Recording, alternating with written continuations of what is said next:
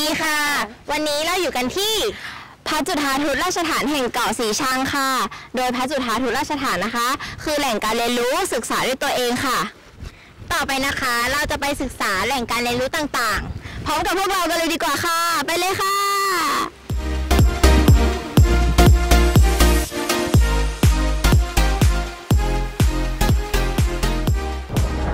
ค่ะพระจุฑาทุตราชฐานนะคะ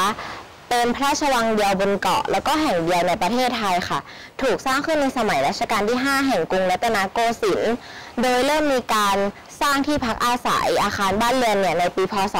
2432 และใช้เป็นที่ประทับแปรพระราชฐานของพระบาทสมเด็จพระจุลจอมเกล้าเจ้าอยู่หัวและพระราชวงศ์จนกระทั่งเกิดกรณีพิพาทระหว่างไทยกับฝรั่งเศสรศ112 ซึ่งมีกองทหารบุกขึ้นบนเกาะสีชังและปิดอ่าวไทย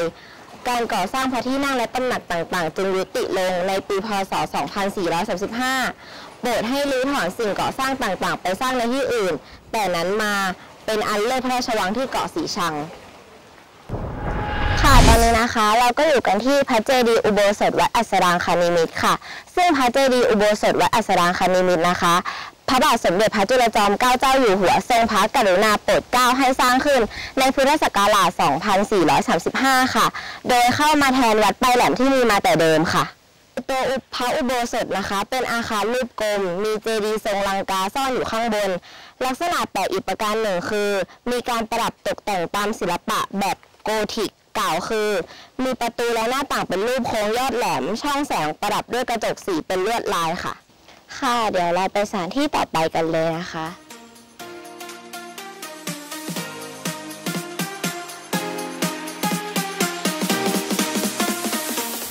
นี่นะคะคือเรือนผองศรีเป็นที่แสดงนิทรรศการพระราชประวัติ และประวัติบุคคลสำคัญที่มีบทบาทสำคัญในอดีตค่ะ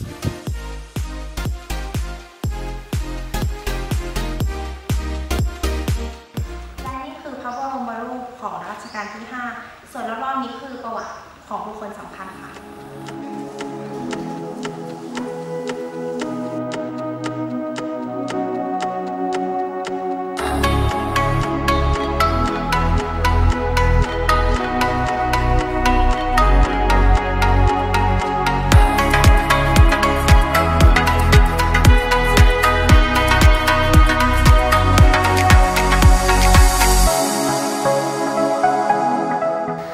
นี่นะคะก็คือเรือนอภิรมค่ะ ซึ่งเรือนอภิรมนะคะ จัดแสดงนิทรรศการสิ่งปลูกสร้างในสมัยรัชกาลที่ 5 ค่ะ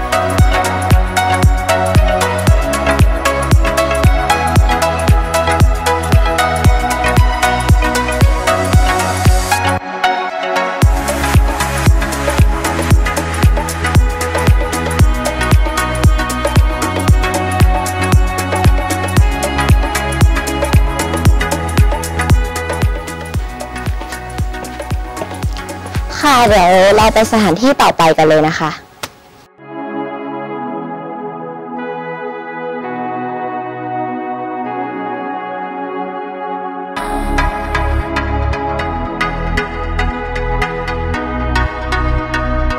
ค่ะตอนนี้เราอยู่กันที่เรือวัฒนานะคะ ซึ่งเรือวัฒนาเนี่ยจัดแสดงนิทศการสำคัญของเกาะสีชังในสมัยรัชกาลที่ 5 ค่ะ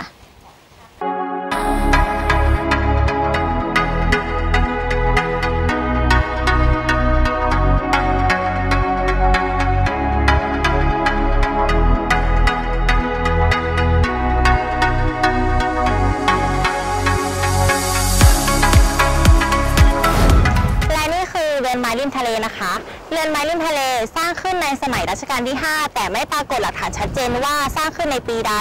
สันนิษฐานว่าน่าจะเป็นที่พักตากอากาศของชาวต่างประเทศในสมัยก่อนค่ะ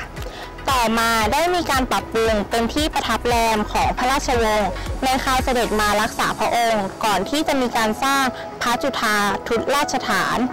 ในพุทธศักราช 2435 ปัจจุบันเป็นสำนักงาน ส่วนบริการนักท่องเที่ยว และจัดแสดงนิทรรศการที่น่าสนใจในเกาะสีชังค่ะ